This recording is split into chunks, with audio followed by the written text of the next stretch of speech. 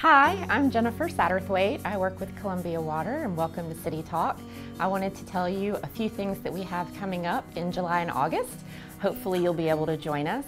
We have our quarterly utility billing drop-in on July 11th. We'll be at our Washington Square Customer Care Center and we'll be there from 5 to 6.30 we would like to encourage everyone who is a customer of Columbia Water to come down. You'll be able to pay your bill, talk to a customer care representative about your account if you have questions.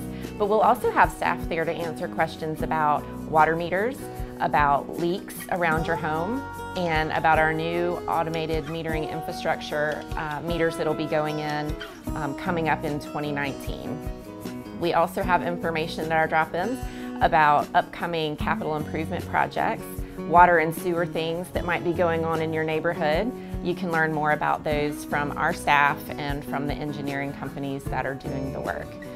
At Columbia Water, it's very important to us that you understand your home plumbing and sewer systems. We have tons of great information about how to look for leaks at home, about reading your water meter to see if you might have a leak that you're not aware of, and we have staff available to answer questions about your water responsibilities versus the city's water responsibilities.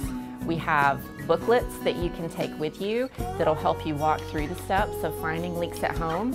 And we have lots of great kits and tools that you can also take with you that'll help you determine if you are using water that you're not aware that you're using. So just come on down, to uh, Washington Square, which is at 1136 Washington Street.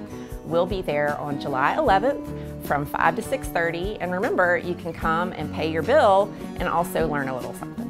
We also have a really exciting event coming up in August.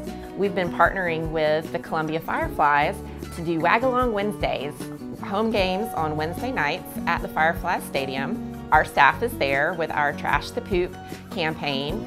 We're giving away t-shirts, water bottles, lots of really cool things. Um, you can bring your dog and you can watch the fireflies play. So it's a great time and we hope to see you there.